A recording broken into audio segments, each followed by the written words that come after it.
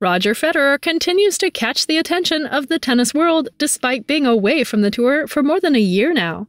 During his break from the sport, the Swiss great has kept himself busy with appearances at various events and spending time with his family.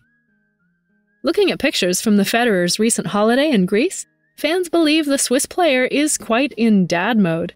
Pictures surfaced this week of Roger Federer holidaying on the island of Paros in Greece along with his wife Mirka and their two sets of twins. He recently made an appearance on Wimbledon's center court during the centenary celebrations on the middle Sunday of the tournament. Federer's outfit while on vacation has caught the attention of fans on social media, some of whom believe the 20 time Grand Slam champion has fully embraced life away from tennis. He's embraced fatherhood, it's over, one fan wrote on Twitter. Roger is looking very relaxed. Seems like he's just really enjoying life right now without playing competitive tennis. Good for him. He's already very accomplished. Time to conquer other challenges and to focus on family, another fan tweeted. Federer has attended events around the world, many for his foundation as well. While on vacation in Greece, Federer was seen in casual attire, sporting a white t shirt and shorts, and spending time with Mirka, twin daughters Myla Rose and Charlene Riva, and twin sons Lenny and Leo.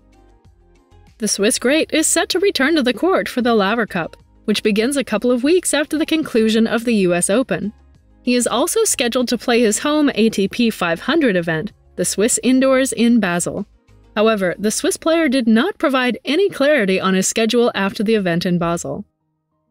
Due to his ongoing absence from the ATP Tour, Roger Federer has now dropped out of the ATP rankings in an update to the list of ranked players this week. Federer has not played a match since his loss to Hubert Hurkacz in the quarterfinals of the 2021 Wimbledon Championships. His first shot at climbing the rankings chart again will come at the Swiss Indoors in Basel in October. Despite the impending challenge, the 40 year old is highly motivated to make a comeback, expressing the same during a recent interview. Time will tell how I want to deal with this, how often I keep looking for interest. I think about that now sometimes, but not often. My main focus is on how to make my comeback in tennis. I work hard on that, and I think about it every day, he said when asked about his life after retirement from tennis.